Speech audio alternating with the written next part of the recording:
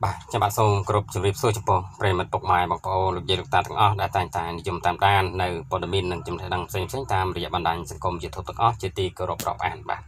បាទថ្ងៃនេះខ្ញុំបាទបានលើកយកនៅអត្ថបទព័ត៌មានមួយទៀតហើយណាដែលមានចំណងជើងថាញាក់សាច់បាទនៅពេលដែលលោកផាញ់វណ្ណៈកំពុង live វីដេអូនិយាយអំពីការបាញ់បរិម្នាក់ដែលចោទថាជាចោរនោះស្រាប់តែខាងនគរបាលម្នាក់ទេមកថាចុចចុចបាទទេមកថាយ៉ាងម៉េចបាទ បាទដើម្បីឲ្យជ្រាបច្បាស់ទាំងអស់គ្នាបាទសូមប្រិយមិត្តពុកម៉ែបងប្អូនលោកយាយលោកតាទាំងអស់មកតាមដានស្ដាប់ជាមួយខ្ញុំបាទដូចតទៅបាទបាទប្រភព Facebook បាទរបស់លោកផៃវណ្ណៈបានលើកឡើងថាហេតុអ្វីបានជាអ្នកធំនិងអង្គញាខ្លះបាទខ្លាចការពិតម្លេះបាទ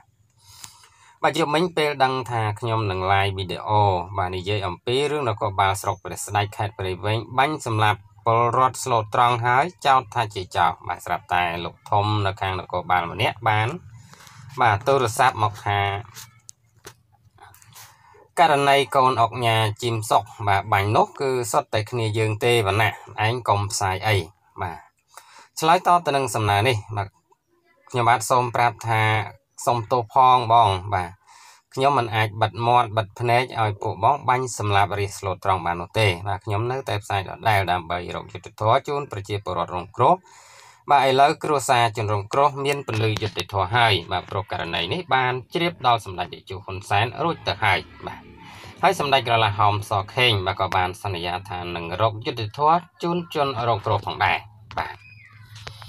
បាទអញ្ចឹងរឿងនេះគឺបាទมันអាចបិទបាំងបានទេទេ បាទព្រោះថាជ្រាបដល់សម្ដេចតេជោហ៊ុនសែនទៅហើយបាទហើយនឹង